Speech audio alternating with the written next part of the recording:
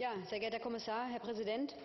Die USA und Kanada wollen unsere Fluggastdaten. Das sind neben den persönlichen Daten auch Telefonnummern, Kreditkartennummern, IP-Adressen, sehr viele sehr persönliche Daten. Aber wenn einer die Hände in die Keksdose steckt, dann wollen das andere auch. Nun will also Mexiko unsere Daten.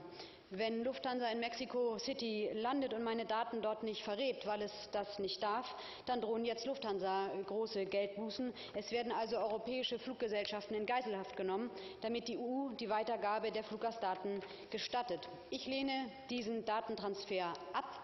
Wir sollten die Daten der Bürger schützen und den Datenschutz großschreiben. Kundendaten haben weder die EU noch die Mitgliedstaaten etwas anzugehen, erst recht keine anderen Regierungen. Hören wir auf, Fluggastdaten überhaupt zu erfassen, dann können wir sie gar nicht weitergeben, auch nicht an die USA und Kanada.